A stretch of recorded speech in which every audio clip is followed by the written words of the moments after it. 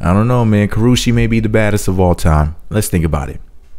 Karrueche went and got her teeth pulled, rather her wisdom teeth to be exact, and here she is coming from the dentist, and she still looks better than pretty much any girl out there. I mean, holy shit.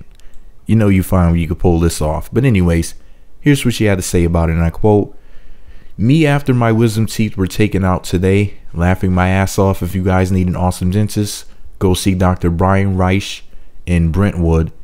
Can't say his number on YouTube, but it's on my blog if you want to contact him. It's a 310 number. But anyways, shout out to Karrueche, aka the girl so fine that she can make pain sexy. God damn, 50 Shades of Karrueche.